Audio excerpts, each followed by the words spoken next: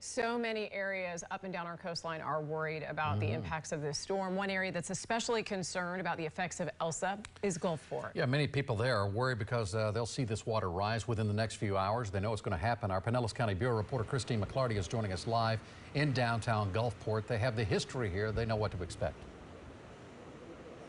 That's right. They had Eta and they're preparing right now for Elsa. Many preparations already underway. At this exact moment, winds are really picking up. Within the last 15 minutes, debris like this has been falling. You can take a look at these palm trees and see that it's quite gusty out here. Now, Gulfport's mayor says Eta slammed multiple boats into this shoreline, and now he's worried that it's going to happen again.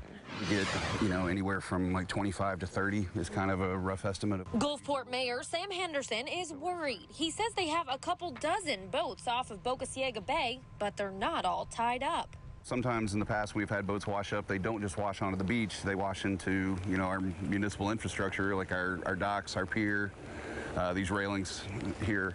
Um, and so that adds an added cost to taxpayers in the city. Look at this. The mayor says Tropical Storm Eta slammed seven boats on shore, in total costing the city about $20,000 to remove.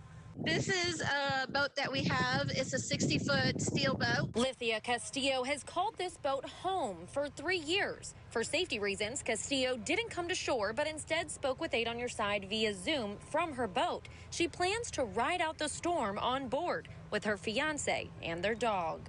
Anxiety, yeah, it's up on the scale. Adrenaline is all the way up to a 10. Castillo says she's been preparing her boat to battle Elsa for three days. Like the mayor, one of her biggest concerns is boats that aren't properly secured. They leave them out here and they haven't been on the vessels. And for us liveaboards, that's our biggest danger is these vessels running into our vessels. So we're up all night. And here's a live look at Castillo's boat. She's on it right now with her dog and fiance. And again, she plans to ride that out all night. Now, according to Pinellas County Emergency Management, the worst of the storm is expected to hit between 11 p.m. tonight and 3 a.m. tomorrow. Reporting live in Gulfport, Christine McClarty, 8 on your side.